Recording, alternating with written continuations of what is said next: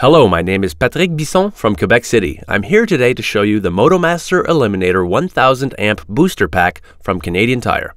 This device is very easy to use with lots of features that I enjoy. First of all, we have a USB port where you can charge your cell phone. We have a cigarette lighter power socket to make all of your accessories work. We also have a small flashlight that helps you boost your car when it's dark outside. At the back of the power pack, there's an air pump that lets you inflate your car's tires or your kid's bike tires. And at the base, you'll find a booster. So you hook up the small black clamp on the negative terminal and red clamp on the positive terminal. Switch the device to on. Wait for about 30 seconds, allowing enough time for the battery to get some power back. Next, start your car once your car starts, you can simply switch the device to off. Unhook your clamps and that's all there is to it.